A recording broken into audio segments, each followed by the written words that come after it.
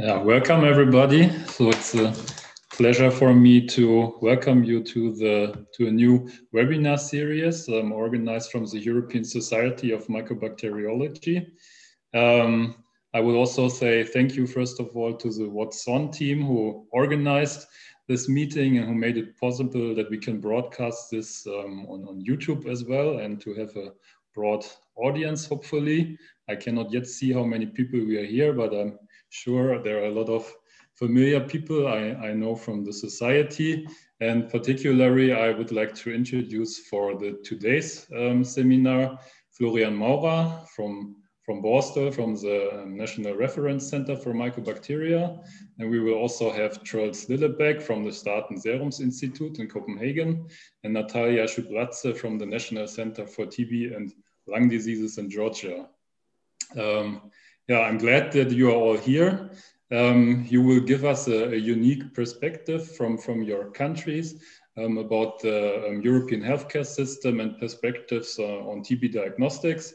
And um, you will present how your setup um, is arranged and, and the challenges in, in your particular settings with regard to TB incidents, of course. Um, we agreed that we will do one um, presentation together. So um, you can, of course, already um, um write your questions in the chat when, when you come across um, an interesting point and we will address it then after the talk.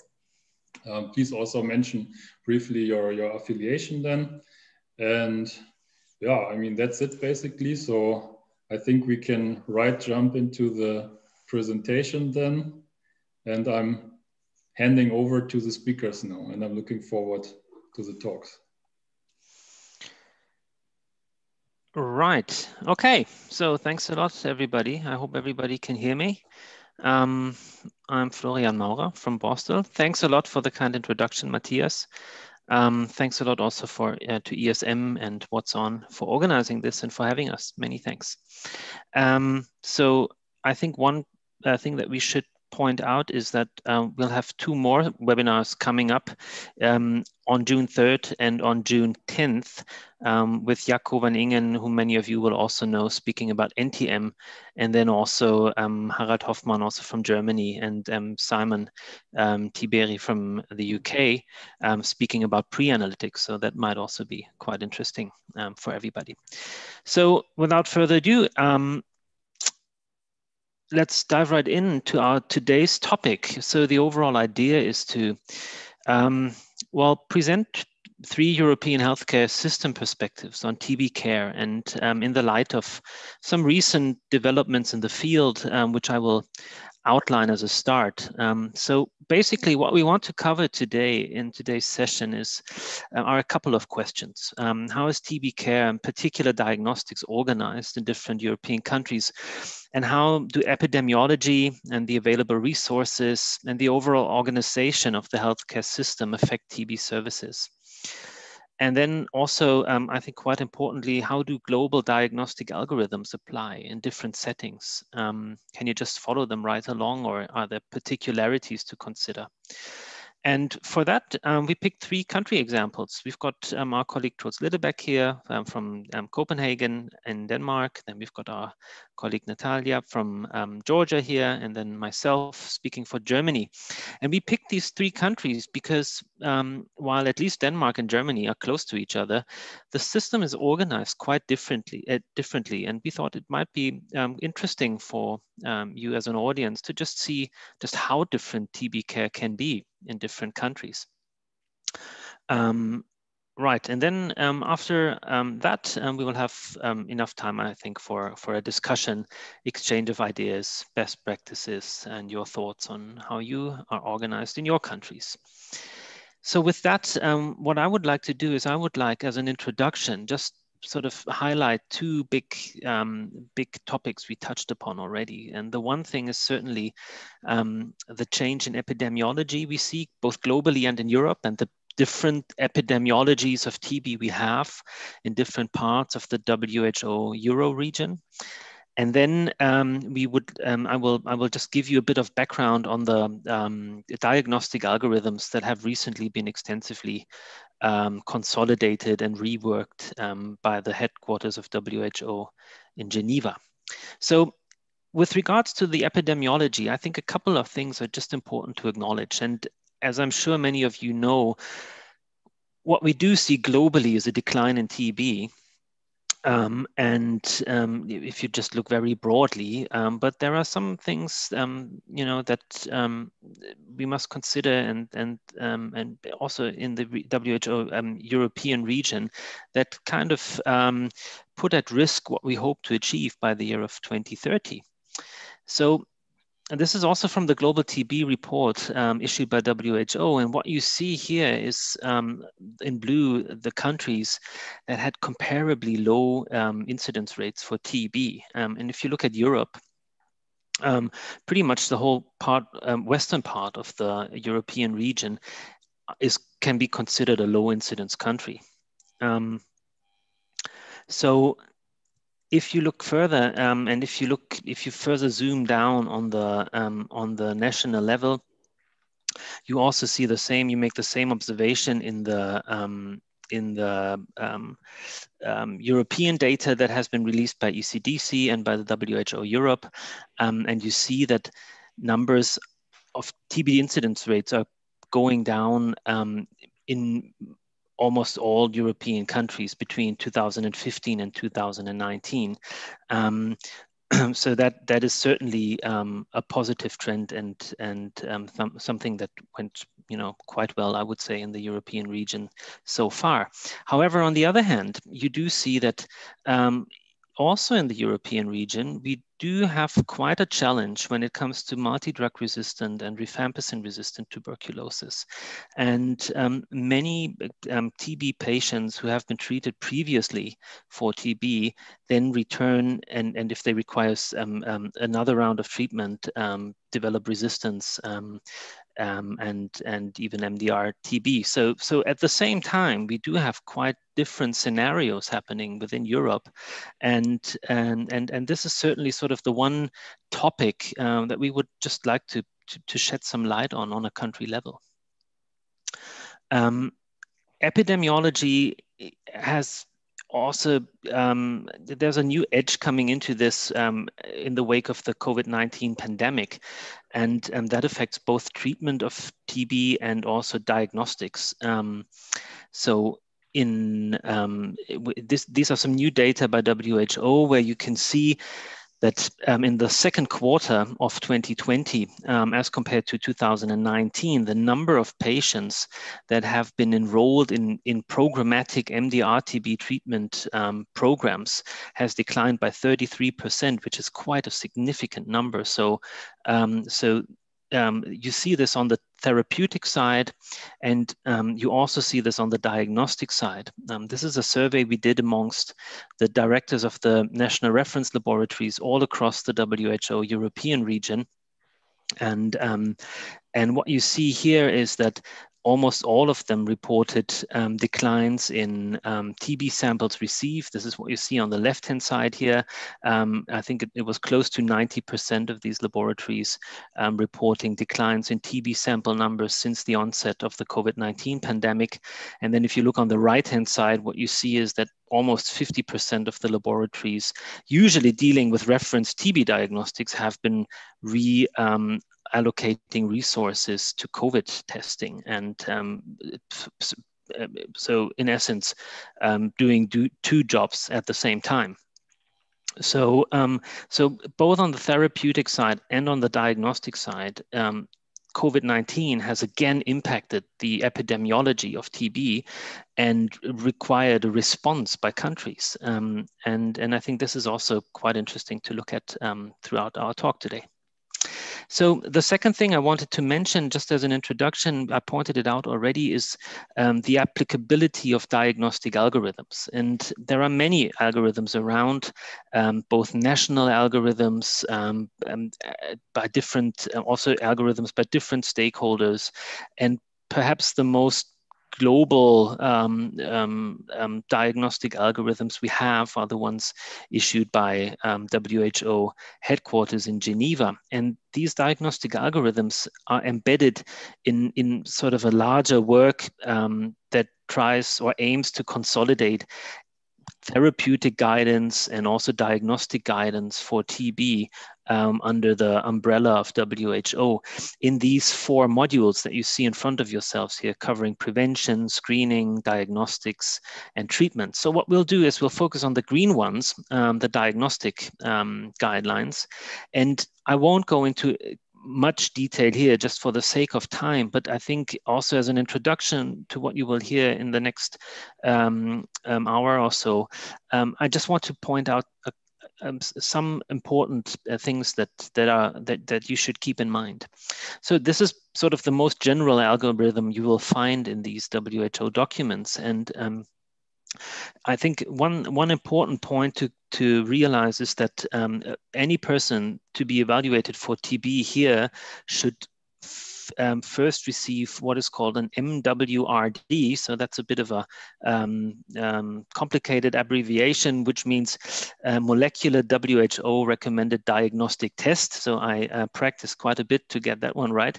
Um, and in essence, what that means is that WHO defined um, a set of and and tests that that fulfill this criteria and that are basically endorsed as being, you know, having a, a, position here in this algorithm. Now, what are these tests? These tests are first uh, of all um, the GeneXpert system, which I think many of you are familiar with, and then also um, a second PCR-based system by um, from an Indian company called MolBio. That's the Truenat system, and then there are two um, others. One is um, the um, the TB LAMP assay, which does not predict drug resistance, um, but only TB yes and no. And then um, the line probe assays. However, in the context of this algorithm, WHO um, in the footnote three um, explicitly mentions Xpert MolBio and the uh, TB LAMP PCR. So the important thing to, to consider here is that the PCR or the molecular test basically um, stands in a position where you, you know, 15 or 20 years ago, you would have probably found a microscopy. And, and so, so one important thing to, to realize here is the idea to, um, to promote molecular diagnostics because of their um, higher sensitivity to detect Mycobacterium tuberculosis as compared to smear microscopy. And then from there on, it goes on. Um, and I won't go through anything in great detail here, but basically the algorithm then outlines what to do in case the PCR is negative, what to do in case you find rifampicin resistance like the Xpert can detect or also the MolBio system and so on. So, um, so that is basically the, the, the idea. And then um, this is further differentiated into different scenarios. I just brought this one along here as a highlight um, on what to do in case you find a rifampicin resistant or MDR-TB um, um, positive, PCR positive um, um, person. And then it basically goes on with collecting additional specimens, testing for fluoroquinolone resistance, conducting a culture, and then going on from there.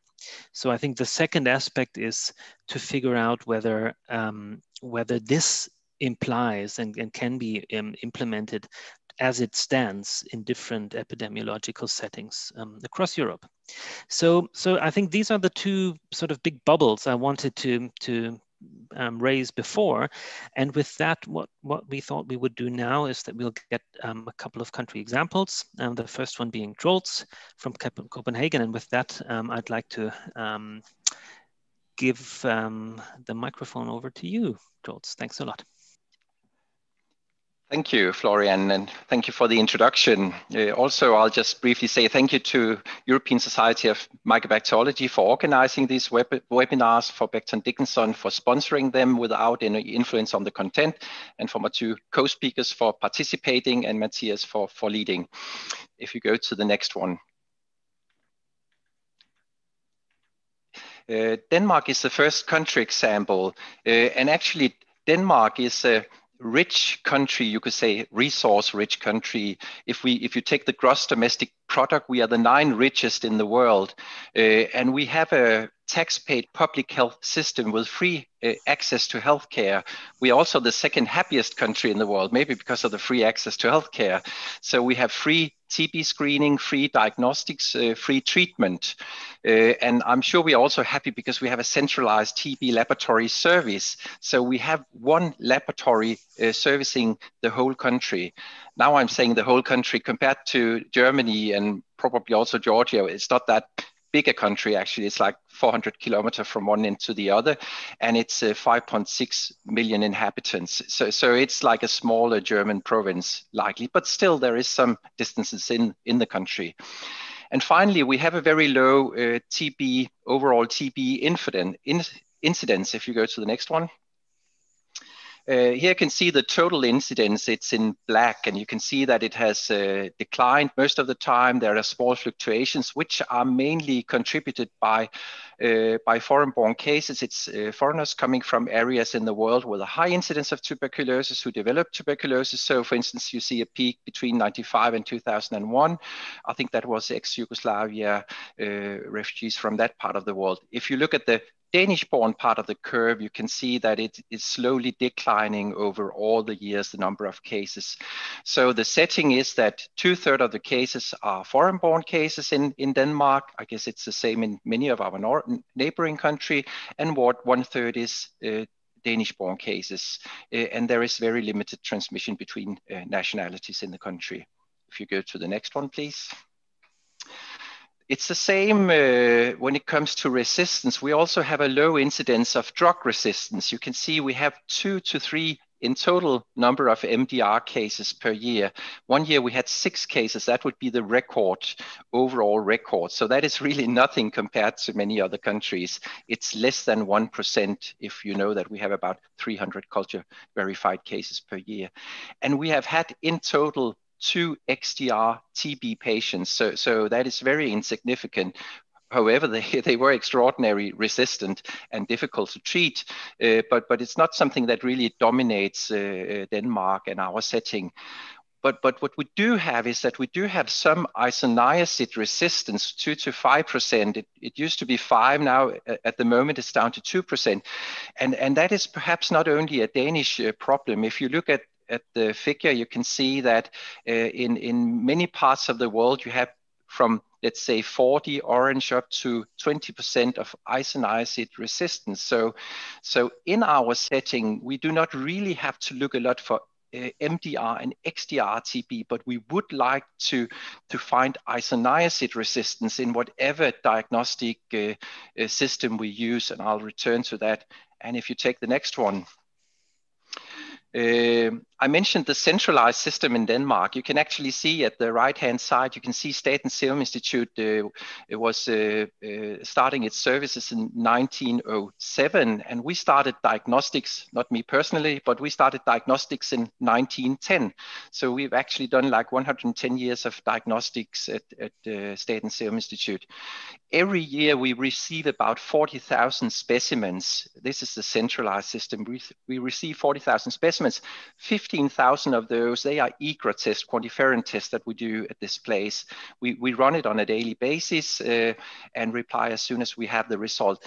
So the other 25,000, they are actually primary specimens that are examined for mycobacteria. And we still do microscopy. You mentioned it, Flora, and It is actually still done microscopy and it makes sense. I'll explain that later. We do also uh, culture for the, on the same 25,000 specimens, we do microscopy, we do culture, both liquid and solid, and we do different PCR DNA-based methods. We don't just do one method. Method. Often when you say PCR, you think of GeneXpert or some one specific PCR system, but, but we do use many different ones in the diagnostic flow.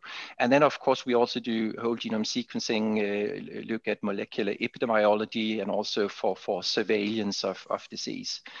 Uh, the next point is actually quite important. If we look at the last 30 years, you can see that we have done 600,000 cultures, actually 600,000, 625,000 if you want the correct figure. And among those, we find 5,500 unique TB patients. That's individual patients with a positive M tuberculosis culture. It, it's actually complex, but 99% would be M tuberculosis. But note the next figure. We also found 4,000 NTM patients.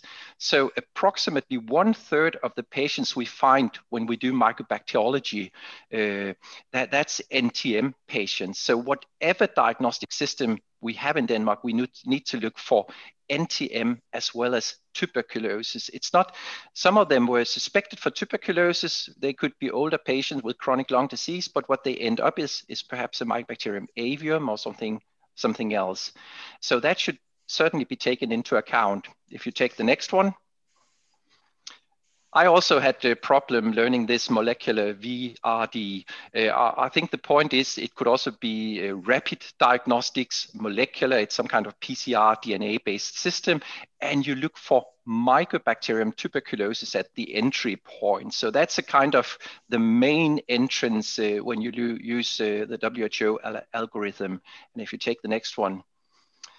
So based on what I just told you, imagine we in Denmark, now we decided we need to save money, might not be a saving, but we want to save money. We just do one PCR upfront for Mycobacterium tuberculosis. We'll take the most widely used one globally, the GeneXpert, uh, which look for rifampicin resistance. Well, uh, now you know that we would miss the 40% NTM cases every year. We, we would miss the isoniazid resistance between 2 and 5%. You saw other countries in Europe up to, to 20% isoniazid resistance.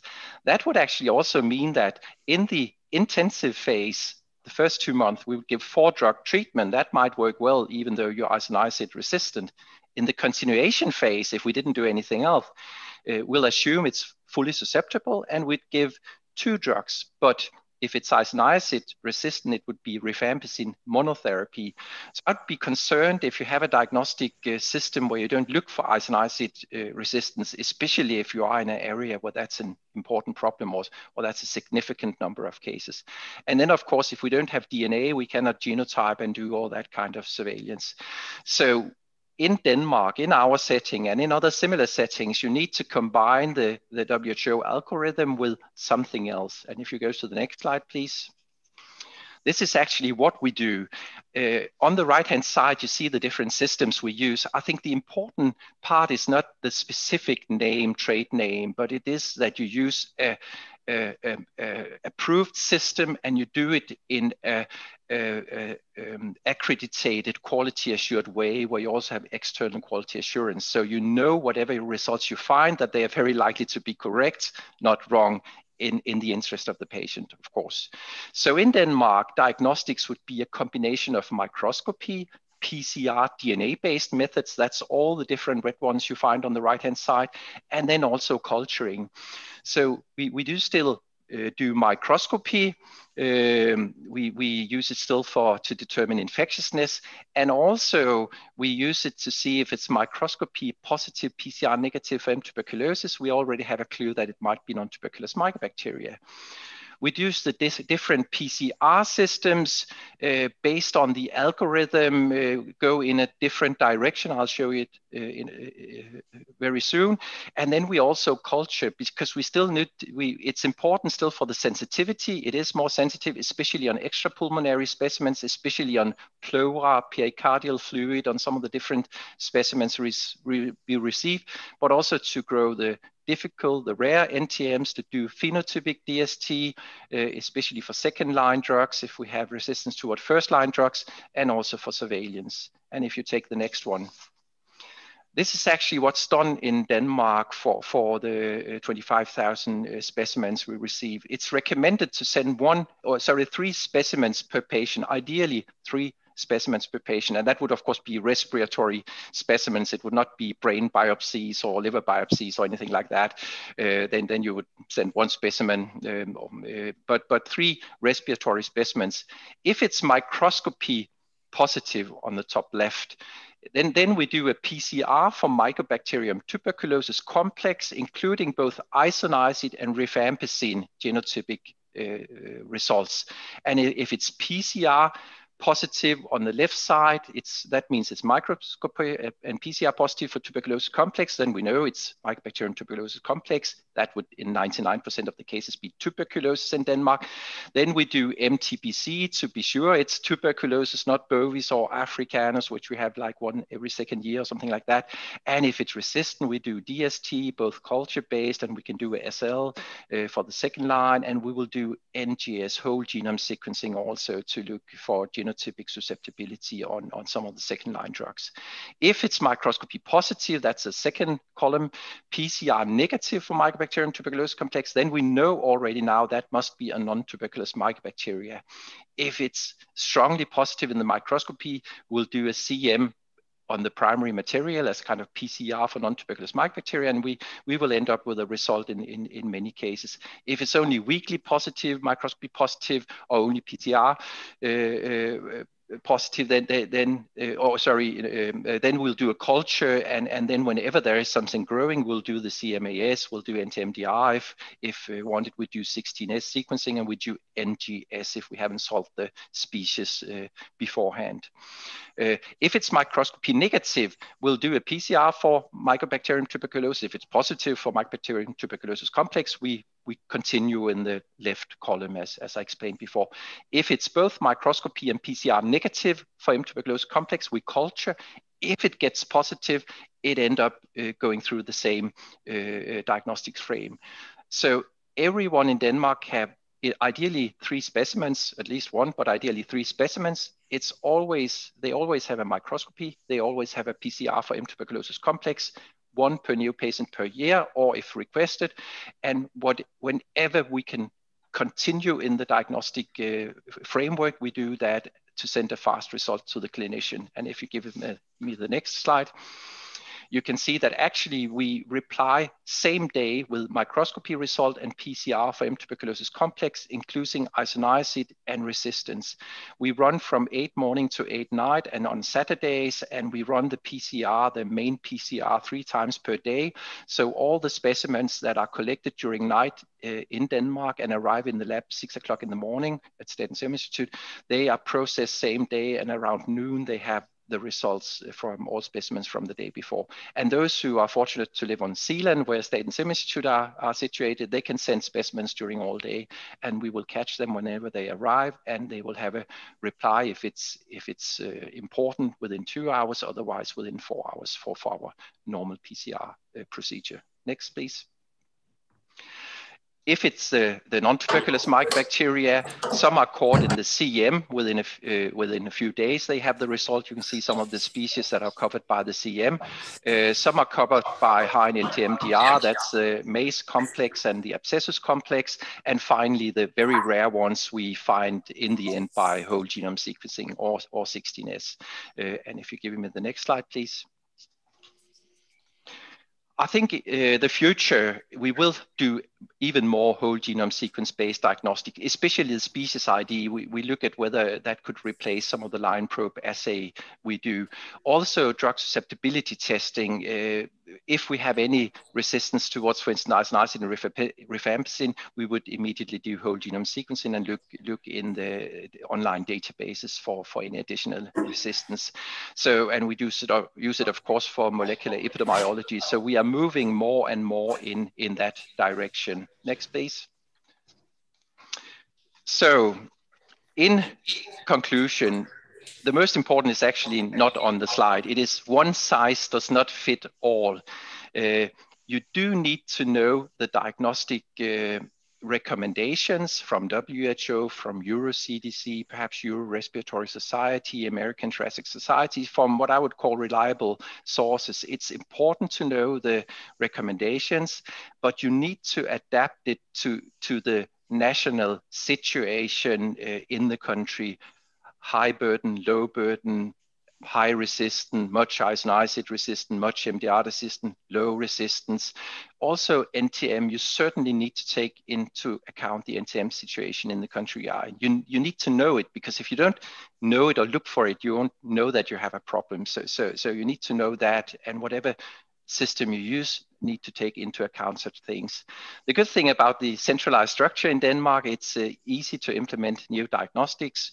We have like a concilium where we, we say we, we think of, for instance, introducing the, the Fuji-LAM test. Would that be a good idea? And if we agree with the clinicians, we just do it.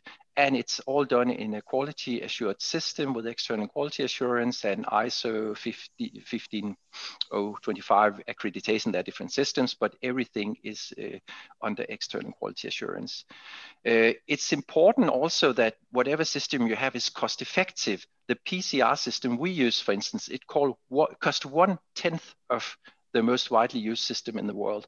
We do 15,000 PCR per year. Can you imagine if I had to multiply that by 10 uh, my my um, economical department at the Statens Serum Institute would wouldn't like us to change based on on that, and it would also not be economically wise. Uh, we still need culture for sure. I, have already explained why it's important with the culturing. Uh, we are moving in the direction of whole genome sequencing, but but we are not there yet, uh, and it will take years before we can do that directly on primary specimens. I think we will need to screen anyhow and find those that are positive before we apply the more expensive systems. Um, so um, if you could take the next one, please. Just to say thank you, we, we have many uh, uh, persons supporting and sponsoring different research development projects. And the next one, please stay safe out there. I really look forward to see you in real life. Uh, there's a small problem with the virus. It's not uh, as interesting as tuberculosis, but it is causing some problems. Uh, stay safe and thank you. We can take questions after the last presentation. Great, thanks a lot, um, Troels, so far. So without further ado, I would um, like to pass over to um, our colleague and friend Nata from Georgia, uh, who will certainly have a a very different perspective um, in terms of the way the system is organized, in terms of TB incidents, and all these kinds of things. So, um, Nata, over to you. Happy to hear your presentation. Thank you. Hello, everyone. Dear Florian, thank you for the introduction. And I would like to tell you a little bit about Georgia and our situation with TB and uh, also accessibility of TB diagnosis and treatment in our country. So on this picture, uh, you can see our national reference laboratory, new building, who was it's it's quite a quite new building and it is uh, very well equipped, though it's not as, as finally well equipped as Troels laboratory. So next, please. Uh, Georgia is not a big country. You know, we have uh, about three and a half million of population. We have two laboratories. One is National uh, Reference Laboratory, where we have culture, DST, uh, line probe assay, and GeneXpert. And also we have one culture laboratory in the Western Georgia, in Kutaisi. It's the center of Western Georgia. And they are sending cultures for DST to the National Reference Lab in Tbilisi. And also we have um, uh, small uh, TB laboratories all over the country, and they are collecting specimens, sending them for culture, doing GeneXpert in place in the point of care, and then sending the samples for culture to Kutaisi or to Tbilisi laboratory, depending on the geographical location of these small laboratories. Uh, so uh, here on this slide, you can see that we are WHO Euro region high priority country, which means that we are no, we don't have any more very high incidence, but still it's not uh, low enough to get rid of this high prioritization. Uh, partial decentralized means that uh, part of these small laboratories, they are under NCDC of Georgia, and all GeneXpert network is under NCDC of Georgia surveillance. And cultural laboratories are under TB pro, mostly under TB program. Of course, there is exchange, information exchange and uh, all other things. Uh, laboratories are public. Uh, we do not have private laboratories in the TB, TB network. Uh, next, please. Uh, here you can see our place in the um, European context. And uh, you, can, you can see that for in 2020, we had 39 per, per 100,000. So it's, it's a significant decrease. Next slide, please. You can see here the overview since 2006 in absolute numbers until the last year. So I, I have updated the presentation with uh, the last TB report. So and next slide, please. In percentage, you can see that it's 39%. Uh, uh, for, okay, in percentage we have here, yeah. Uh, and uh, you can see that we have uh, quite high retreated TB cases because it's uh, a big problem not only for Georgia but for also almost all post-Soviet countries. When we have people who come for treatment and then they give up and they are lost for follow-up and then, then they return back with the resistant TB. So this is this is a really really big problem. Uh, next slide, please. Um, here you can see these um, RIF-resistant and MDR-TB patients who were included in treatment. And uh, the next slide, please. And uh, last year, when we had lockdown and quarantine beginning from April, and uh, we had a significant decline in TB diagnostic. You can see it's minus 26% uh, for sensitive TB and uh, minus 28% for RRMDR TB. Uh, now it's less or more uh, equal to what we had before the pandemic. Uh, next, please. Uh, here, uh, HIV and TB prevalence, you know that we have uh, both AIDS and TB programs in, in Georgia, uh, which means that uh, diagnostic and treatment are funded by, by these programs. And they are uh, free for population.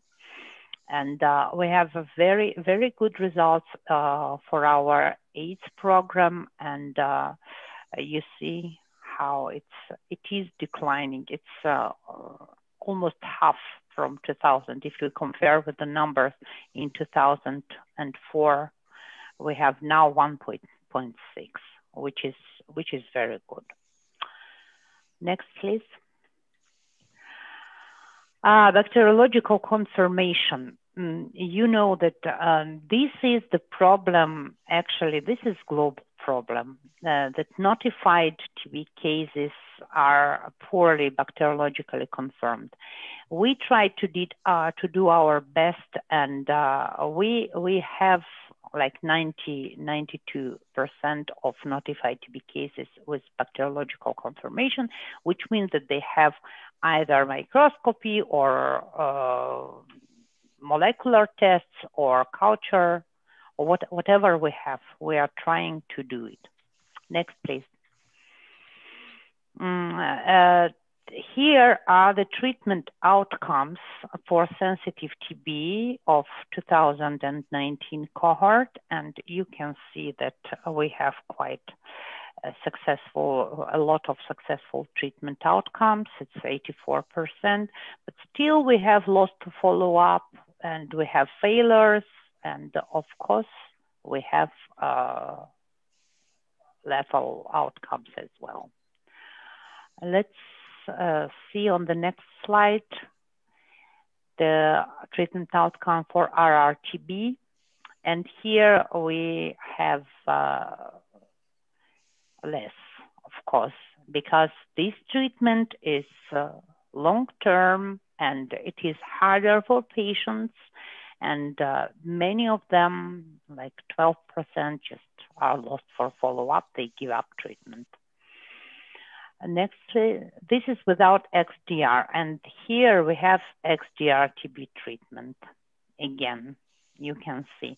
And uh, I can say that even having the this new drug like bedaquiline and linezolid, we had clinical trials in, in Georgia and we have them included in the treatment regimens, but we already have people with uh, this new drugs resistance already. Next slide, please. Here I just, uh, I will show you our algorithms. Uh, this algorithm is being updated right now according to the WHO consolidated guidelines. But you can see that everybody, all presumptive TB cases, they have first test. Uh, this is Xpert. This is Xpert MTBRIF or ultra. Most of our GeneXperts are, are ultra. And uh, uh, this uh, algorithm is in line with uh, the WHO Euro algorithm that uh, of 2018, I think. Next slide, please. Uh, here is uh, a sensitive, uh, follow-up uh, algorithm for sensitive patients. So we have, uh, do we take two sputum samples, one uh, has only microscopy, and if it is positive, one of them goes for culture. And uh, it is done on the on the end of month one, month two, five, and and six, and uh, then we are putting them on the culture, and uh, depending on the results, we are doing uh, SLLPA uh, Hain or Hain test for second line, or if it is sensitive, we do for the first line uh, phenotypic DST. Uh, next slide, please. This is for follow-up algorithm for MDR-TB. And uh, you can see here how we are doing it. We are doing it on the third month of the treatment. And then if it is microscopy positive and or culture positive, we do SLLPA. And uh, uh, second line DST. Next slide, please. Uh, and also we have extrapulmonary TB diagnostic algorithm. We are we have uh, clinical facilities uh, and uh, we are taking like spinal fluid, lymph node, uh, puncture, tissue samples, uh, bronchoalveolar lavage, pleurisy puncture, ascitic fluid, pericardic fluid, urine, stool, whatever whatever. And uh, we are doing at the same time GeneXpert and uh, microscopy and culture. And then we are doing first line line probe just to find out what kind of resistance we have. And then, uh, depending on the results, we are doing second line uh, line probe to to give right direction then when we have uh, phenotypic DST results, we can correct treatment because uh, you know that uh, phenotypic DST, of course, has more uh, possibilities than than any molecular that we have for now. We don't do whole ge genome sequencing uh, for, routinely because uh, we don't have these possibilities kind of, it, it is expensive. Of course, we can buy this sequencing machine, but then you have to maintain it, you have to buy reagents, and uh, it's quite problematic. So we can do this for uh, kind of uh, within the frames of a research. This is okay, and uh, uh, actually, uh, or we can send to our reference laboratory, which is in Antwerp, Belgium, and uh, ask them to confirm or to exclude whatever resistance we have. Next slide, please. So about the national response, how is about the accessibility and treatment? Next slide, please. So we have uh, a special group, guidelines development group, which monitors all the new guidances uh, of uh, WHO headquarters or European region, and then we uh, like translate them, adopt them for our country, and uh, all all doctors in Georgia who work with tuberculosis, they are obliged to use these guidelines. It is absolutely excluded that somebody will uh, just, uh, you know, uh, do improvisations on the treatment regimen or the, diagno the diagnostics of TB. Next, please. Uh, we have um, uh, total access to TB diagnostics in Georgia, and it is uh, funded partially by government of Georgia and the Global Fund. You know that Global Fund did uh, everything for the country like ours to give this possibility to our population.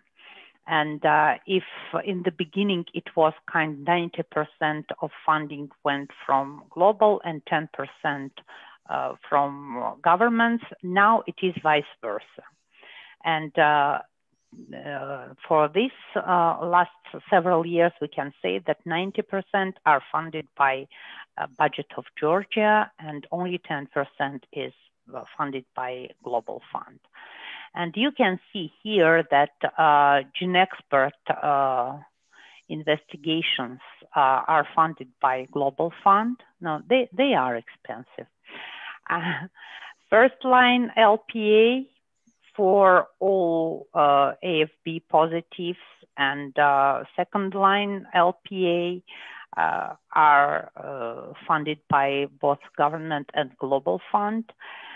Uh, TB culture, we have MGIT and we have LJ as well, but LJ is mostly as a backup medium because we for for DST, for example, we almost don't use LJ. We use only MGIT. Uh, and uh, you see that uh, second and um, first and second line, dry, uh, line drugs, uh, phenotypic DST are funded by Global Fund, and smear microscopy for all presumptive TB cases are uh, funded by um, government of Georgia. Also, we have strategy, strategy fast which is find, actively separate and treat. And it is also funded by both uh, government of Georgia and Global Fund.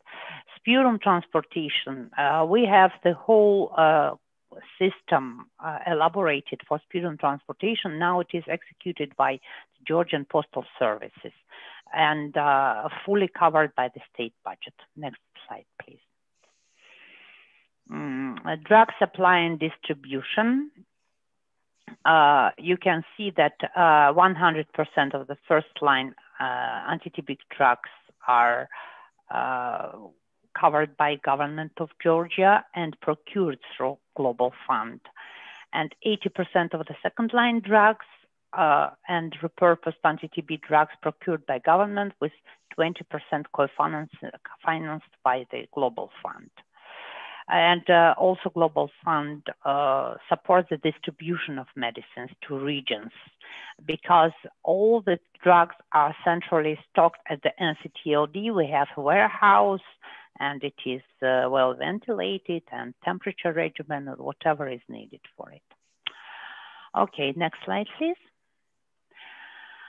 Um, we have not not only a mycobacteriology lab, but also we have for clinical and biochemistry tests like uh, ILT, AST, bilirubin, all this uh, biochemistry for uh, blood. Also, we have serology, and also we have uh, instrumentals because our center is TB and lung disease center. So we have all the set for the instruments just to find out what's happening with our patients. Next slide, please. Uh, we uh, use patient-centered approach and uh, we, of course, are strengthening outpatient model of care. And for this purpose, with the support of the Global Fund, uh, our program launched a video DOT, uh, DOT so-called VOT, an innovative approach directly observed treatment. So they can, they have app and uh, they can contact uh, DOT nurses or doctors through this. Also, we have ambulance service, um, a mobile service, and uh, we can uh, kind of distribute this uh, using cars, and it's it is good. Let's go further. Next slide, please. Uh, also, we have uh, uh Project ECHO. And uh, uh, because we have MDR, MDR TB Consilium, so when we have patient and uh, the patient should be given this treatment for MDR-TB, we have consilium and you can see the photos from this consilium and they have telecommunication and they decide together what kind of treatment uh, needs this patient and how to, to proceed with. Okay, next slide, please. Uh, we also, our TB program uh, is strengthening outpatient model of care and, uh, and our patients receive uh, psychological support from treatment adherence consultants. And uh, since 2008, uh, we reimburse them transportation costs for each accomplished DOT visit. And uh, all TB patients uh, receive conditional cash incentives for good compliance, already supported by Georgian government for MDR patients. They also um, receive food packages. Next slide, please.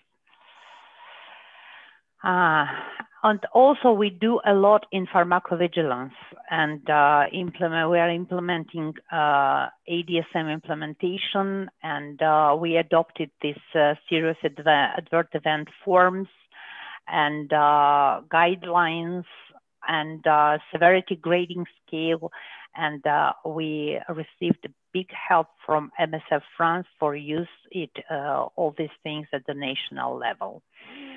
Yeah, and you can see on this slide that, uh, of course, uh, uh, TB Center is leading all this work. And uh, uh, we started implementation uh, of this ADSM core package in early 2016 and gradually moved to intermediate package in 2018. And we also have a ministerial decree uh, on mandatory recording and reporting of these serious uh, advert events uh, forms for all drug-resistant TB patients. and uh, our state regulation agency for medical activities uh, became a full member of this WHO collaborating Uppsala Monitoring Center. Next slide, please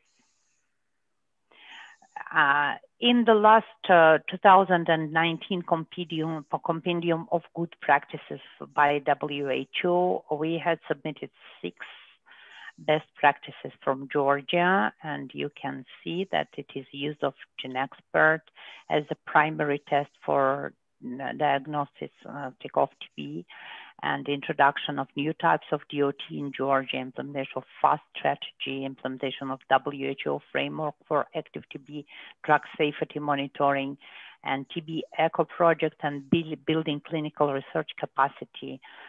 And uh, we hope that in next compendium, we will have six or more. next slide, please. Uh, of course, and, uh, nothing is perfect, you know, and uh, we have challenges, and uh, one of them is human resource that uh, in regions uh, it's low motivation, and mostly it's people who work in TB for many years. So it, because of this low motivation, the young people they don't want to go to the region and work in TB program treatment and adherence is uh, also not on the good level. Uh, we have still high loss to follow up. Uh, ability uh, to uh, to perform DST to new and repurposed drugs used in treatment regimens because it's it's changes very fast and uh, we also need need more resources and more effort to implement these DSTs. For now, we we have everything, but we don't. We, you never know. Tomorrow you will have new drug, and you have to adopt your laboratory service again. Uh, awake referral practices from the public health uh, level. Uh, this is also one of the problems because maybe lack of uh, communications between the TB program and other doctors. We need to work at it. Uh, continuous training on TB program staff. Uh, this also needs resource. Designing and implementing of new TB national database, which is very important to have the unique database for the whole country and with co communication with the AIDS program and other medical programs functioning in Georgia. TB law, also very important. Next slide, please.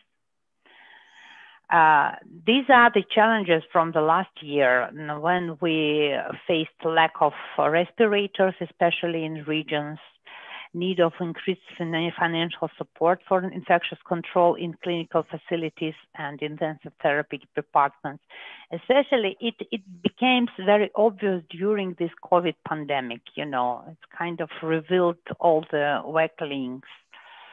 Uh, many TB facilities were not working because of quarantine, and uh, referral didn't work well in this case. This is why we have decrease in 26, 28%. Um, monthly provision on after TB, uh, anti-TB drugs decreased uh, to minimize the risk of COVID because you need to give this uh, to be in contact. And also because of the lockdown in India, some first-line drugs provision uh, were expected to be delayed. Next slide, please. That's all. Thank you very much for your attention and over to you. Florian. Great. Thanks a lot, Nata, for this um, snapshot from uh, how things are going in Georgia.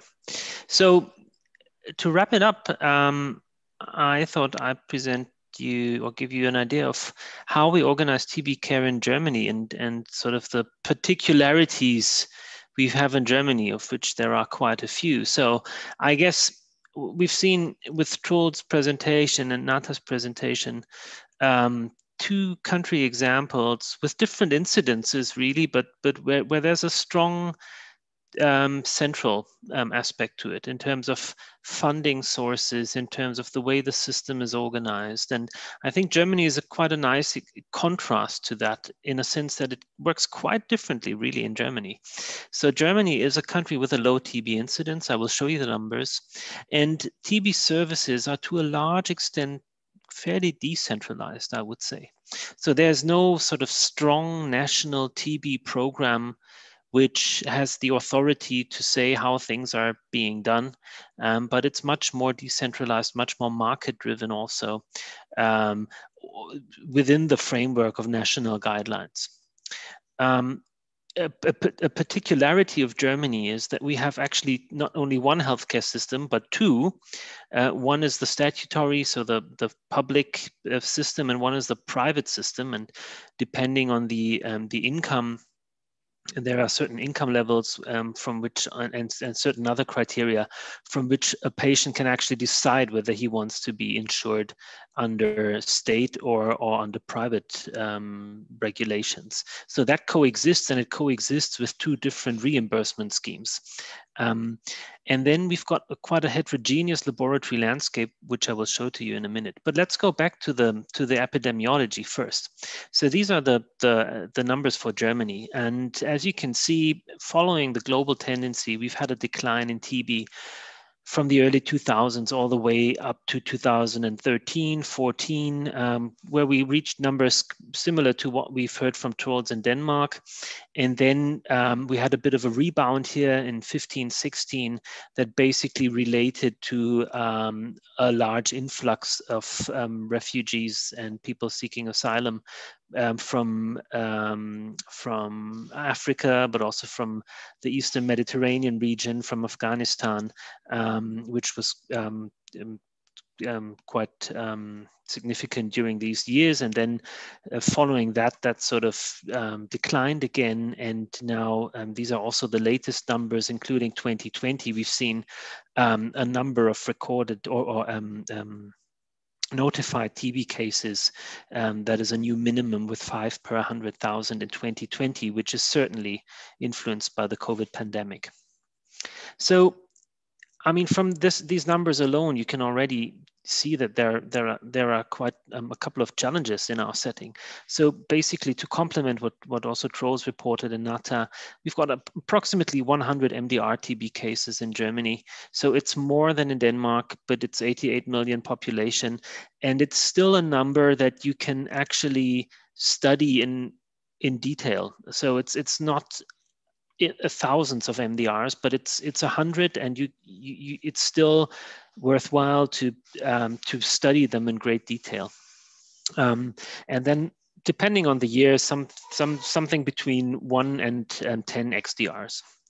So the challenge, the first challenge that is derived from this is the challenge really to stay proficient. Um, so with TB becoming less prevalent, um, you really have a challenge in a in a um, country like Germany um, to make sure that the when a TB patient shows up in a hospital, you actually have um, people around who have experience in treating TB, particularly in treating drug-resistant TB. And the same holds true for the laboratory side, similar to what Nata also reported from, from Georgia, but um, um, I, well, perhaps one of the good things about the COVID 19 pandemic, if there are any, is that it raised an interest in infectious diseases and hopefully also with the young medical colleagues, um, you know, developing a new interest in, in infectious disease diagnostics as well. So the other challenge is to, to change the diagnostic infrastructure um, as a response to these declining numbers in a smart way. And I will give you the numbers in a couple of slides. And then one, one other important aspect coming back to the testing is, and I think that's an important takeaway from today's session as well, is that working in a low incidence country, it's really important when it comes to implementing new diagnostic tests to check based on which data evaluations of these tests were published. So because it is basic statistics that um, um, predictive values depend on the prevalence in the general population you test. So if you have a test whose performance characteristics have been established using high incidence setting uh, data or, or an overrepresentation even en enriched for drug resistant strains, then you need to be very cautious in interpreting these data for a low incidence setting. So, so that is certainly something that, that, um, that uh, we need to keep an eye on um, over here.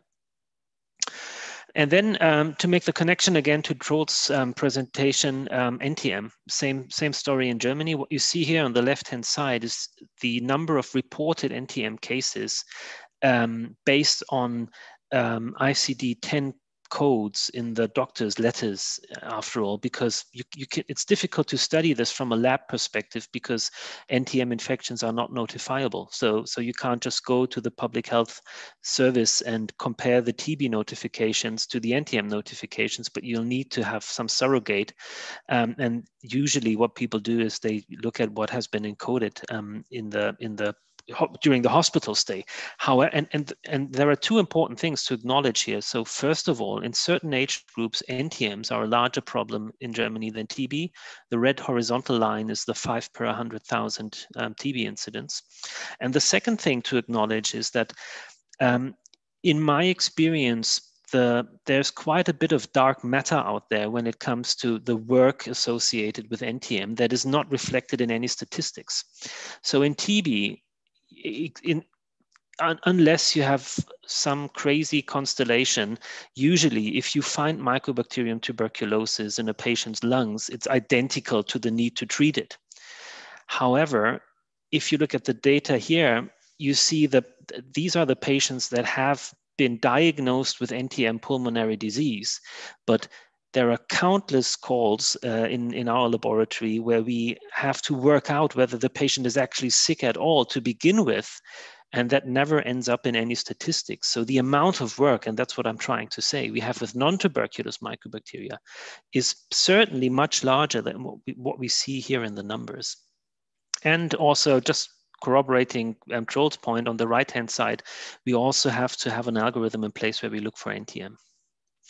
The second point, and I'm sorry for the busy slide, but the second point I wanted to raise is um, um, intermediate or medium and high throughput test platforms. So what, what I brought along here on the left-hand side is from the WHO manual, and it basically shows the, double, the MWRD, so the um, endorsed diagnostic tests and their characteristics. And um, you see again here, uh, they did the numbers and you see the connection between prevalence and, and test performance. The point I brought it along is because the way the system is organized in Germany is that we have quite um, substantial number of, first of all, private laboratories and then also large laboratories, which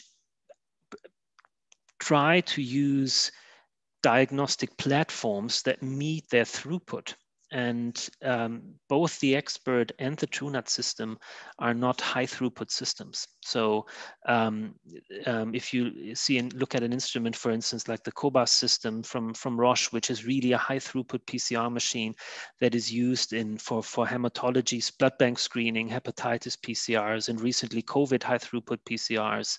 Um, um, th these are instruments that are placed in quite a few labs in Germany. Same holds true for the BDMAX which I would call a medium throughput platform, the Abbott system, and others. And so um, these instruments that are, are in the labs and people want to use it. So at this point, we need to take a step away from the WHO algorithm as it currently stands.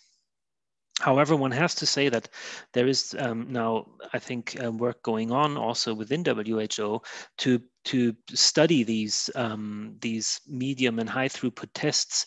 Um, and I brought you along the relevant document. I won't go into any great detail here for the sake of time, but I think we will expect uh, we can expect to see um, diagnostic um, or or these medium and high throughput platforms sort of finding their way into the the global algorithms um, as well for laboratories to just have a larger choice of tests that better fit their, um, their local needs.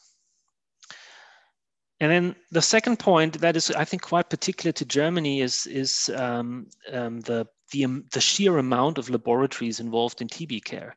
And that is a, a, work that we did in, in a couple of years ago, but that's the most recent data we have. So I, I decided to, to bring it along anyway.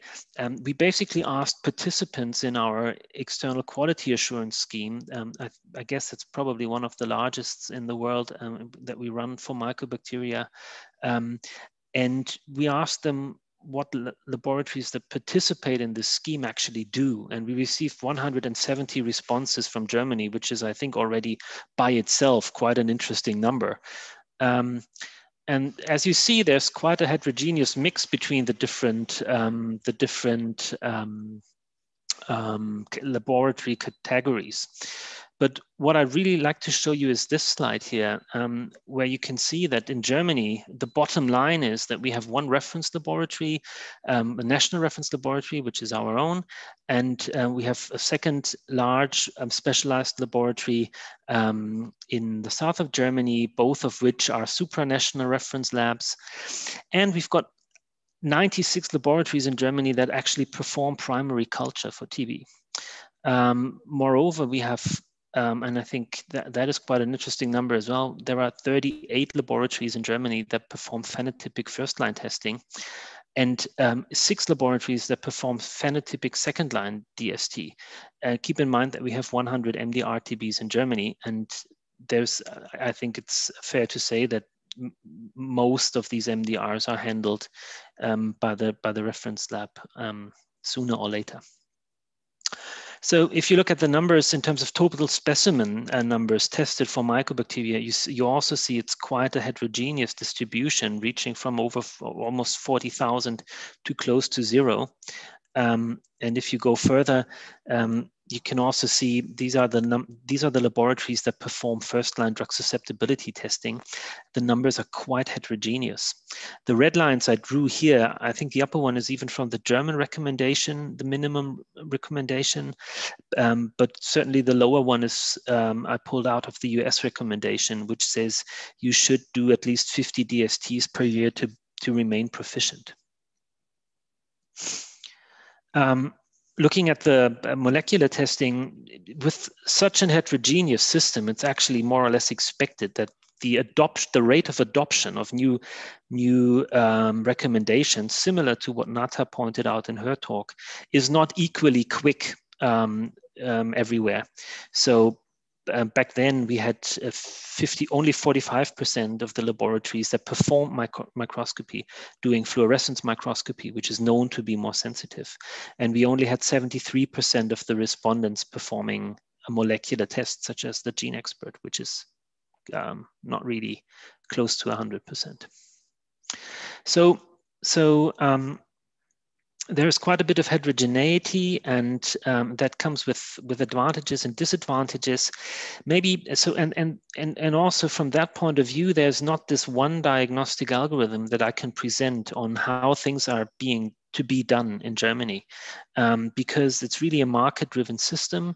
There are certain um, um recommendations in place um, both international but also national recommendations on testing to be done.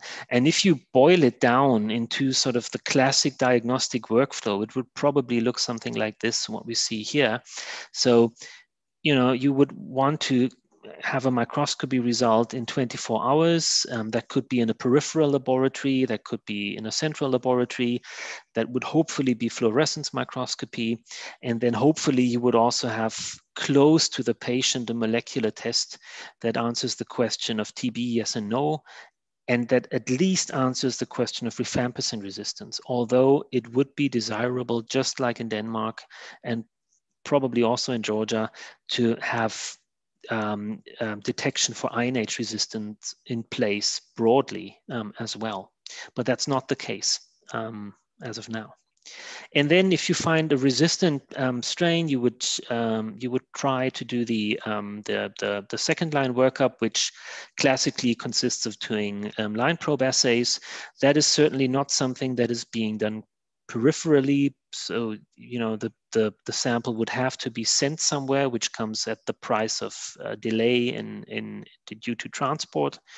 Um, and then also the assays are not really um, um, giving you all the information you need anymore with regard to the new definitions of MDR tuberculosis.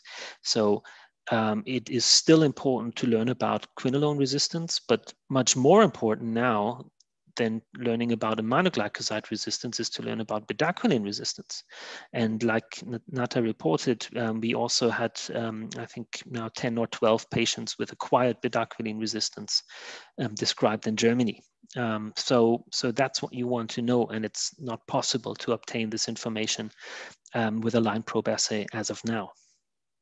And then um, a couple of weeks later, you would get the culture result. You would do the phenotypic DST either on site or by forwarding it to um, a larger laboratory. And then classically typing has been done with MIRU and VNTR. So, so the, the way we're trying to work um, um, and, and as a reference laboratory, we're trying to drive it and, and, and sort of um, um you know um, implement that in, in the German scene would perhaps look something like this. So that's what I call um, the next generation diagnostics in Germany, and and um, you would so you basically you would still have the microscopy as a rapid test um, for the same reason that Troels gave you, um, looking for NTM, also looking for fulfilling hospital hygiene requirements um, and these kinds of things. But you would certainly want a PCR that covers both rifampicin and isoniazid. And that could be in a reference lab, but that could also be, and that should also be in the peripheral lab that, that works on TB care. And then um, um, if you find a resistant um, um, um uh, or, or, if you have a primary specimen that sh shows um, um, where you where you where you find drug-resistant TB um, nucleic acids, um, we would nowadays also try to push for next-generation sequencing. Um, either by trying to get whole genome sequencing working from primary specimens, which is a difficult task, or and that's sort of the other um, line of thinking we're currently following by um, by implementing targeted NGS, where the where the where the difference is that it contains an amplification step like in a multiplex PCR before sequencing. Um, and then you only sequence the genes that are relevant for drug resistance. And we see quite promising results for that one, um, which has the advantage that you also get information on bedaquiline and on linezolid alongside the quinolones it would also facilitate um, um, diagnosing heteroresistance, and you get a preliminary idea of the um, of the um, type. And then again, a couple of weeks later, unfortunately, difficult to accelerate that. You would get the positive culture, you would do the phenotypic DST, perhaps in a more centralized way so that the numbers just are high enough to remain proficient. Um, and then we would um, go into whole genome sequencing, um, both for to confirm molecularly the drug susceptibility testing, and then also to do the surveillance. And and on that end, we're quite fortunate now that uh, we um, received funding from the um, um, federal administration to now sequence every new TB culture in Germany, irrespective of the drug susceptibility pattern.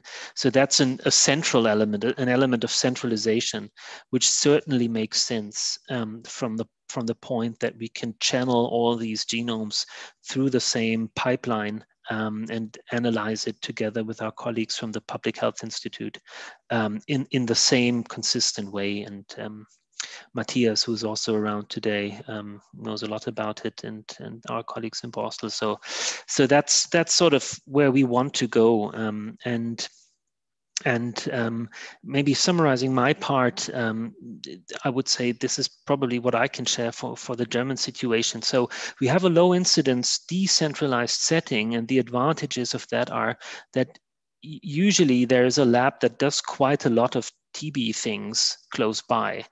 Um, however, I would put this a bit in brackets because with large private laboratory networks, samples are typically you know, shipped around Germany quite a bit um, to reach the, the core laboratory. Then perhaps um, with an eye on, on the market, um, I would say the competition creates pressure on prices. That's a natural thing. Um, and that can also be a good thing because that brings down pricing, prices we need to pay as a laboratory, um, and then also prices that our um, um, referring doctors will have to pay for or the patients for, for their care. And the, the third thing about such a decentralized setting, um, which is probably an advantage or a good thing, is that it, there's redundancy at all levels of care. And we've seen that during COVID, where we observed, for instance, that many peripheral laboratories shifted lots of their PCR capacity towards COVID testing and then sent the primary specimens for, for TB um, to the reference laboratory, for instance. So the system is able to balance itself out um, um, a bit better.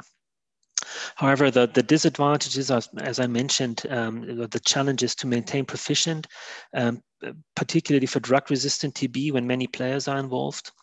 Um, it can be difficult to collect diagnostic information across all these laboratories. So if I need to um, give a therapeutic recommendation, I often have to puzzle together different pieces of information from different labs.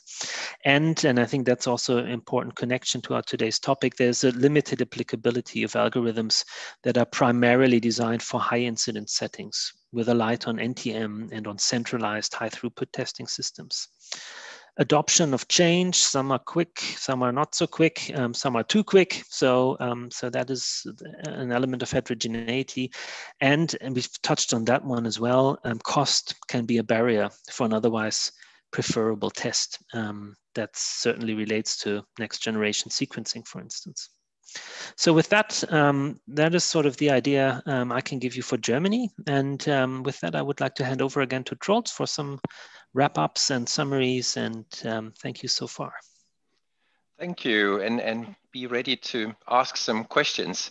Uh, just to summarize, I think it's fair to conclude that one size does not fit all. We, there is not one universal global algorithm that, that would fit uh, any situation.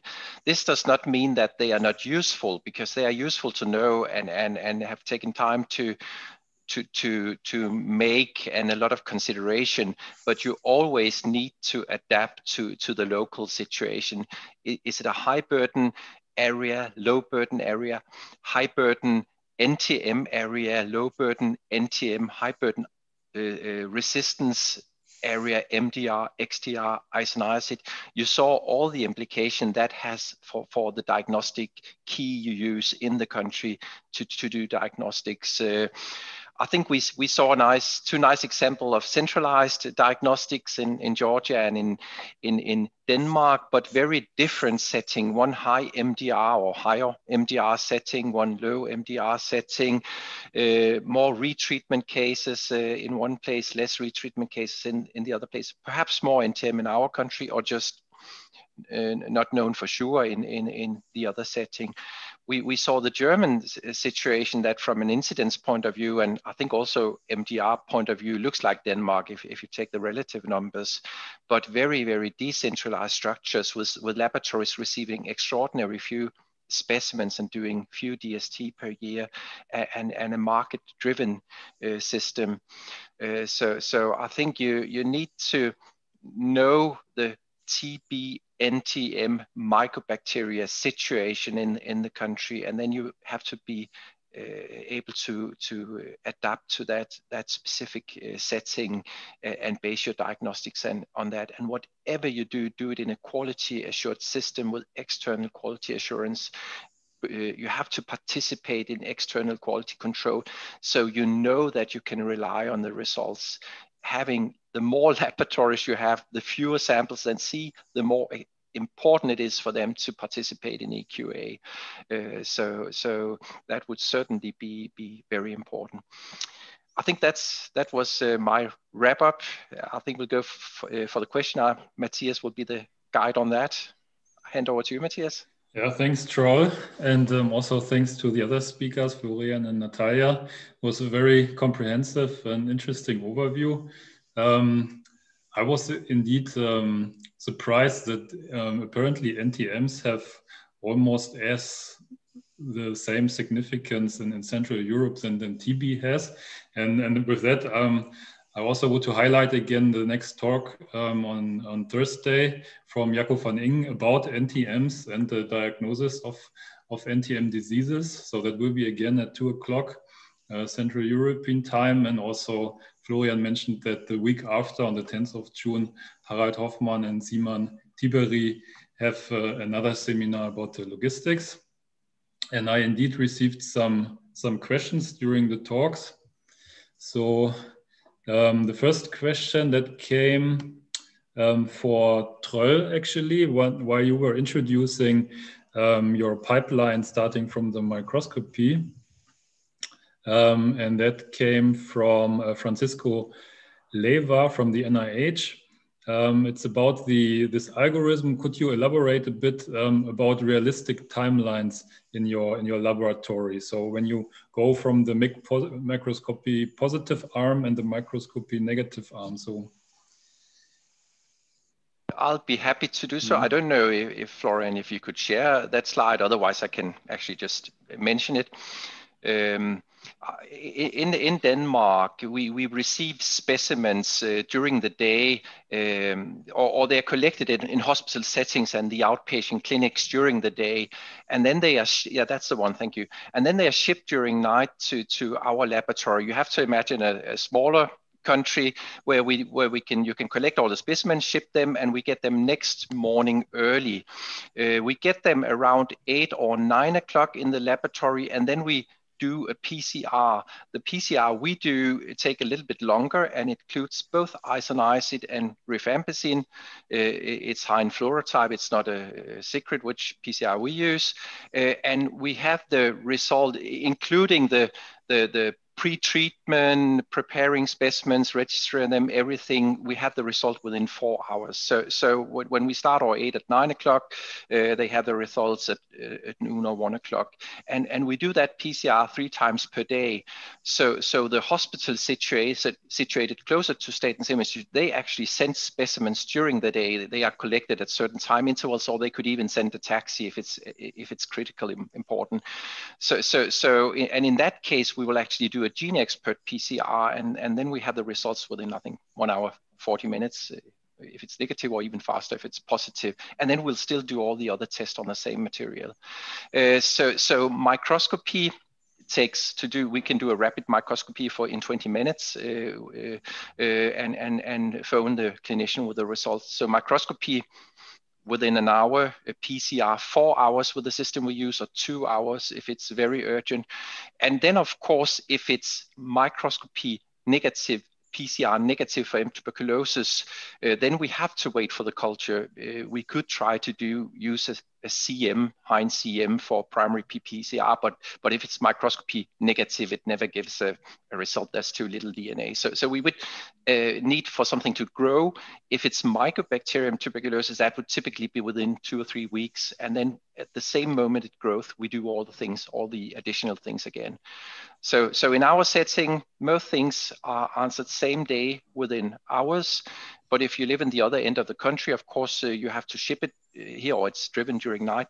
They can actually do a PCR or microscopy in the region, but then they have to, to divide the material and send uh, half for us. And if there is not a material, they have to send all because it was the experience that, that they did not send material uh, if if that was not the rule. But what they've done in practice is stop doing uh, local microscopy and PCR because they they are it's an acceptable time frame. Uh, so that was I hope that was the answer to that question. Yeah, thanks. The, the beauty of a centralized system. I think Florian is quite jealous about that. Um, no also... comment. No but you comment. have different. You have different distances. I I, I, I, I envy you every day, Troels. Um, there's actually also um, you mentioned Troels um, the, that you use a cost a more cost-effective PCR that also triggered some interest here from uh, Mona Lisa Mohanty, for instance. Um, she was curious um, which different PCR techniques are you using, or it's probably also a question to to to all speakers. Which techniques are you using, and um, can you please also advise um, which one would be helpful to include in the routine in a resource limited country?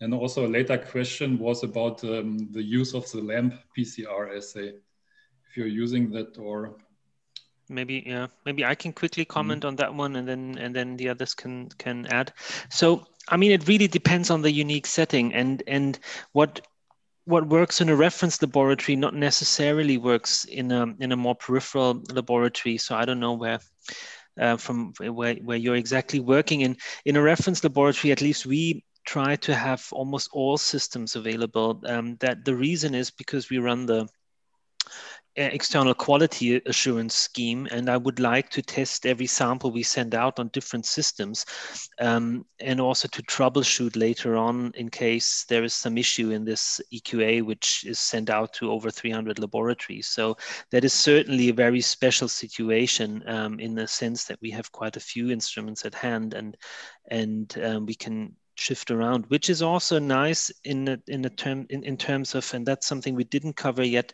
in terms of um, again redundancy, and that's something we've seen um, um, through through sort of the, the, hourglass as part of the uh, COVID-19 pandemic, where I'm sure many of you also struggled, for instance, with reagent supplies, and suddenly there were no commercial kits from manufacturer A available because they were stuck on a different continent and the plane didn't fly, or, or these kinds of things. So, so as a general rule, I would I, I, I would I would try to um, um, always have a backup plan and and therefore having more than one test available is is um, a good choice from that point of view. And the other aspect is throughput because not all different systems um, um um, you know, match the same requirements in terms of sample throughput. So how many samples will have to be tested per day, and then you will have to have different instruments that fulfill this need. Then um, Daniela just added, um, maybe I can share that one as well. Um, that um, right, the the platforms are endorsed by WHO and can also be considered an initial test in countries using a centralized approach. So um, that kind of follows up on what I said in that um, there's a now a, a, I think a tendency to open up the, the diagnostic menu also in terms of endorsement to cover these different platforms to cover different needs ranging from something like a one slot Xpert instrument on the one end to a Cobas 8800 on the other hand which can do like hundreds of PCRs uh, hundreds of PCRs in one shift. Anything anata Can I, can I comment as a representative from the resource limited country. Uh, I mean that uh, when it comes to TB, and we speak about PCR, uh, the main thing for us, uh, for the country with really limited resources, is to have WHO endorsed method to give reproducible and comparable results. Uh, we cannot uh, we can, of course, ask partners to give us Cobas or Roche or whatever, but we will not be using it. You know, this is this is another another thing. If you have it for research for the time being and you have the budget enough to buy all the reagents, this is one thing.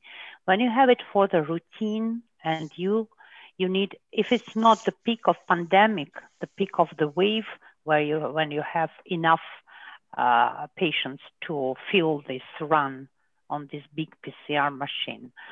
So it's kind of, uh, we should adopt it, uh, uh, not adopt the country to the method, but adopt method to the country.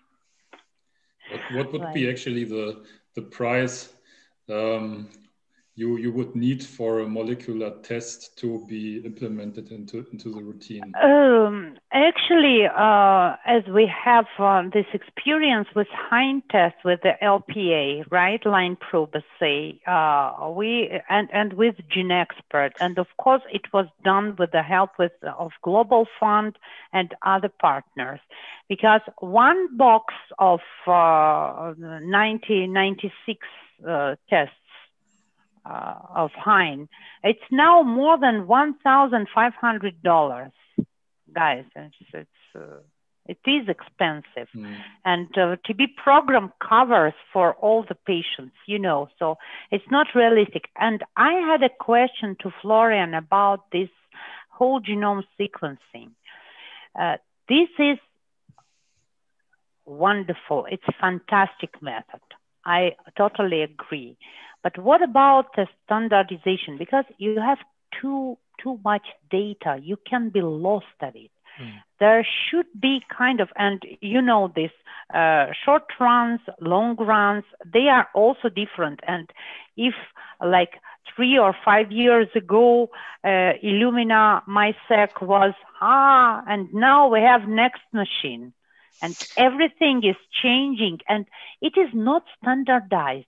Hmm. How are you going to compare and find out what is what is true? So I think probably I'm not the best one to answer this question, but we're fortunate enough to, to, have Matthias uh, to have Matthias around, who's yeah. who's actually um, who's actually uh, very yeah. much involved in this as well. So Matthias, maybe you can comment on that.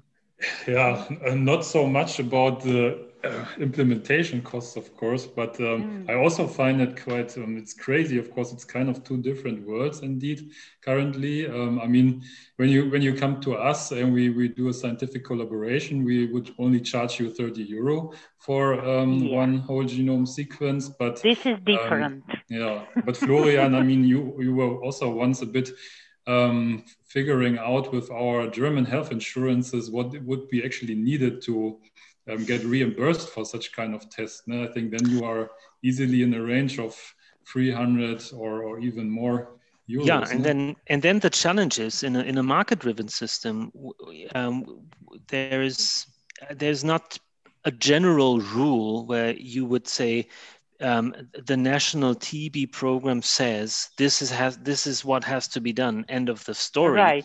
But what happens in a market-driven system is that the um, the laboratory or the doctor or the after all the healthcare insurance that pays for this will ask, well, you need to show me that if there are two alternative systems out there that basically give you kind of the same essential piece of information.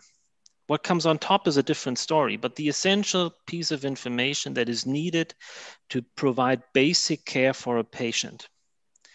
And once one test costs, I, I say an arbitrary number, 10 euros, and the other test costs 100 euros, mm-hmm. then it will probably not be sufficient f- to come up with a um, sort of scientific way of um, saying, well, this is the much cooler technique and we can do so many more things and da da da da da da da. But there has to be also a valid economic healthcare economic business case behind it. And i'm the last one who's very good at doing that but but i'm afraid this is what is needed in order to actually establish such a technology. It has to be competitive with the standard of care from a financial perspective as well. Yeah, because you know it's a reverse proportion. We have low income population with low income and high incidence, and you have vice versa. So if in Germany, like to pay 60 euro for a test, it's okay. In Georgia, it is not okay at all because having 60 euro, you can live kind of several days and buy food to your family. And uh, this is what we, we have to think about. And another thing is, as I already said, a standardization of uh, whole genome sequencing results. What do we have? And well, there is the, mm-hmm. yeah. So so there is there there are a lot of initiatives out there right now. Also, right. The umbrella of WHO, um, and and and I think many people who are very much involved um, in in the field. Um, hang on, I'm I'm supposed to stop the screen sharing here. Just give me one second. So I'll do that now. Um, so so there are lots of initiatives um, in out there to consolidate the different pipelines and also there's recent work that that um, has now been done that basically um, come aimed at coming up with a consolidated catalog of mutations that we consider relevant and that we do not consider relevant and all these kinds of things. So there's and there's a lot of um, comparative work um, comparing um, pipelines for analysis and and these kinds of things. So i'm sure we will see a consolidation in that um, over the next couple of, of years and it's in part it's already there but there's certainly more work to be that needs to be done um, so so different labs using basically the same technology which would be whole genome sequencing eventually come up with the same result that is true for the patient and um, and um, and leads to hopefully a similar diagnostic recommendation. Okay, thank you. Um, so it, it basically covered a bit the question um, from Srikant from India. Also, if there are also alternatives for line probe assays for countries like India. So do you want to give an additional comment to that, Troels?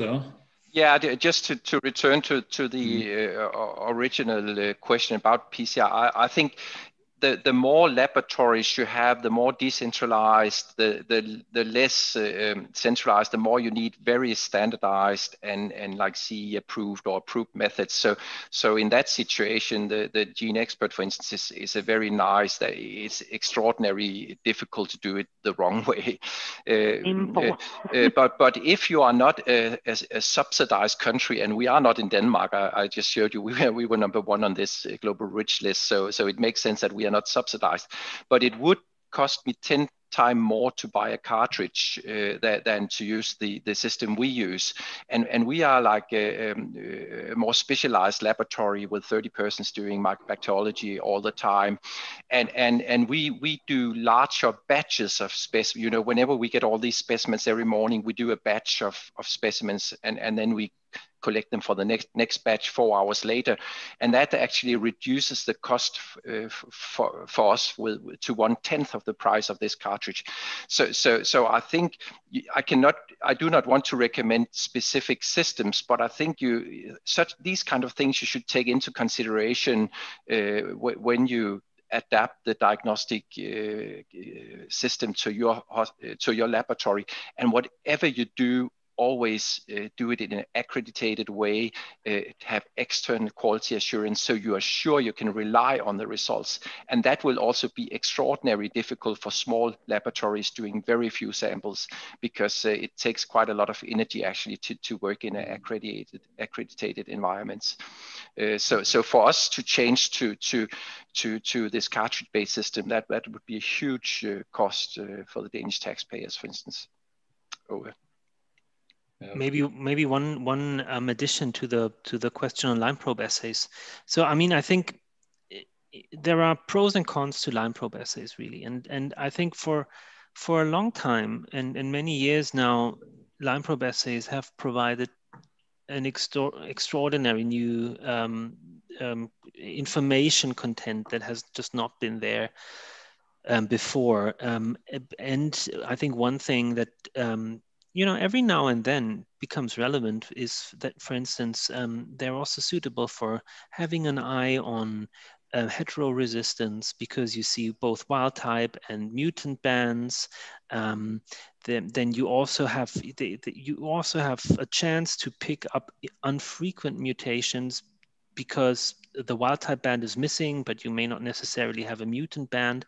So there are certainly um, a couple of things that are attractive about about line probe assays. But then on the on the on the other side, obviously it's it's a you know it requires a bit of work to perform them, um, and and there are certain limitations now as we have a shift in the relative um, importance that are, that has been given to particularly second line drugs as opposed to previous years. And there might even be a biological limitation um, for, for instance, detecting rifampicin, uh, sorry, bedaquiline resistance due to mutations in RV0678. Um, by a line probe assay because and, and we're starting to learn that only now but but um, also matthias has done some work on that recently and we see that the mutations are distributed um, across the whole gene. So it's difficult to design a line probe assay that actually covers that. So these kinds of things. And then you, you, you're very quickly are in a position where you actually do really need sequencing um, if you really want to know it. And, um, and so having a replacement for line probe assays that you could use one-to-one -to, -one to kick out line probe assays and to do something else, I probably don't see it but um, but you would probably have to, you know, and, and you will need to do that anyway. Look at your local situation again, like we outlined before, um, and, and if it requires any changes now in terms of bedaquiline resistance, finding linezolid resistance, these kinds of things, how, how, how often is that? I would assume with the um, person from India asking the question, it's certainly something you want to you know you want to find and and and so you need to have a, a method in place that probably will not be line probe assay anyway when it comes to these drugs. Nata. Yeah uh, just just one mm, comment or whatever. Uh, as for line probe assay and uh, uh, for uh, whole genome sequencing you need to work with infectious material. This is one more limitation like with GeneXpert, you this can be uh, biosafety level one, and if you have a safety hood, uh, BSC, BSC, I mean uh, so class two, it's okay. But if you don't have your uh, infrastructure, you you can't work with it, and uh, also for uh, whole genome sequencing, as I know for now, as far as I know, we need to have enough culture to extract enough DNA to do the sequencing. We do not have yet direct sequencing right in the materials. It's uh, sputum or other samples or whatever. So we need infrastructure. It is complicated. It is complicated. We have two or three sequencing machines in, in the Lugar laboratory here in Georgia. But, uh, you know, it's, it's Lugar laboratory, BSL3, negative pressure. you know, this is one more limitation for, for the country like ours. Or you have to be private laboratory, a rich private laboratory in capable to maintain whatever you have. Perhaps I can comment on that as well. Right. Uh, just uh, regarding the whole genome sequencing, we are actually, we, you could say we are a, a rather advanced uh, laboratory in a rich country. We still receive 25,000 specimens that we have to analyze for mycobacteria. So, so I, I cannot see any system in the near future where we, where we screen 25,000 primary specimens, both pulmonary and extrapulmonary, with a whole genome sequencing method, even even if it's uh, uh, uh, you know specific regions or we we look for. So so we. I, feel quite sure that we will need some kind of PCR DNA based methods to right. find those that are positive. High throughput. E even then, we might based on a positive PCR, go direct and use the same primary specimen and do the whole genome sequencing. That could make sense, uh, saving us right. the culture, but but but we are not anywhere near that yet. So so so receiving all the primary specimens, I don't see us doing uh, NGS directly on the, those in the near future because it would be so many. It would be an extraordinary high cost. So we need to screen them, and then perhaps we can do it on the positive primary uh, specimens uh, NGS uh, in the near future, but it's a very distant future to do it on every primary specimens from any kind of body location. over. there's a follow-up question also in the chat um, um, with regard to the line probe assays again. So if the 10 color XDR cartridge from Cepheid, can that be an um, opportunity to replace line probe assays? Do you know that? Actually, haven't heard about that well, uh, so well, so the the um, oh, Troels, do you want to take it, please? No, please do do so because it's uh, it's not really, if I understand correct, it's not really on the market. Yes, I've heard about it, but it, it's not there yet. So you might be better informed that, than me. Yeah. Also, it, uh, sorry, just just one comment. As far as I uh, know, to my understanding, let's say like this, uh, this there will be again limited uh, limited quantity of genes or of uh, points of uh, point mutations that it will detect. I I I think that this these are more all these line probe assay and GeneXpert and something like this. It's kind of screening methods. Mm. If you catch something, you just go go mm. further.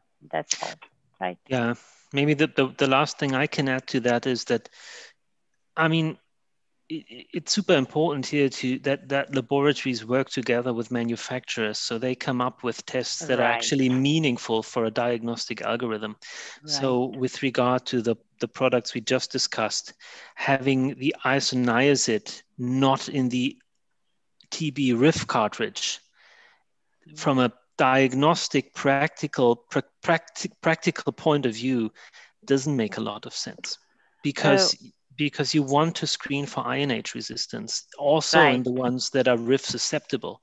So you have to use two cartridges. Um, and I won't comment any further on that. But right. but at the point I, I, I, I want to make is that whatever algorithm you choose for your laboratory, I would I would um, support Troels's point, and that's also what I tried to highlight in my slide that that it, might be advisable to to to have an approach where you have a screening PCR that says tape TB yes and no, that says RIF resistant, yes or no, yes that or says no. INH, yes or no, and then to have a follow up or a reflex test um, that you can then use in whatever case you decide, and that makes sense from a financial point of view. That could be the ones that are TB positive, RIF resistant, which brings down the number quite significantly.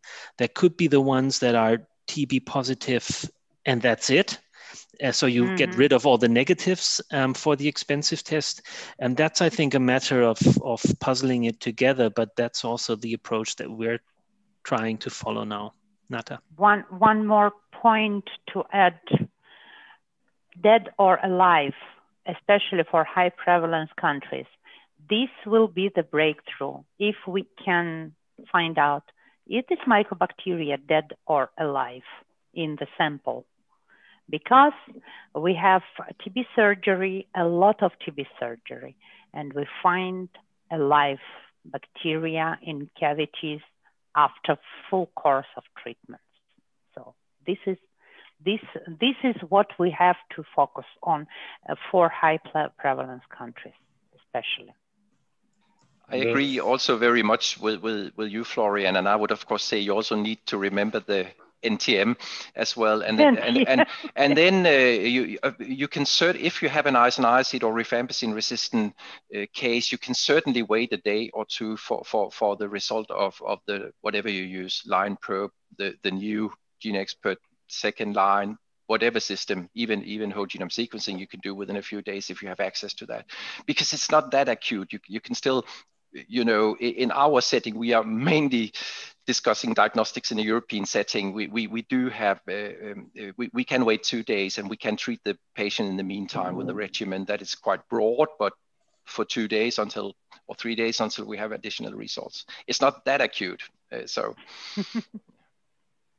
So I have here one also one question about the about the LAM assay in the chat. So do you see um, a place for for this assay for either diagnosis of TB or also for um, observing the the treatment um, progression or treatment outcomes? Do, are we talking Fuji-LAM test?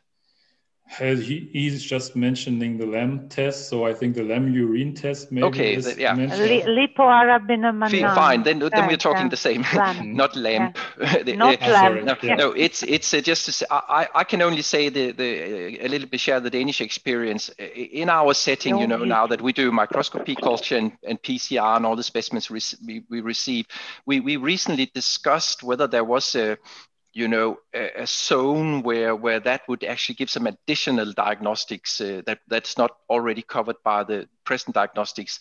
And and what we ended up with that would be HIV patients with a very low CD4 count. That there might be a role for a Fuji-LAM test in that situation.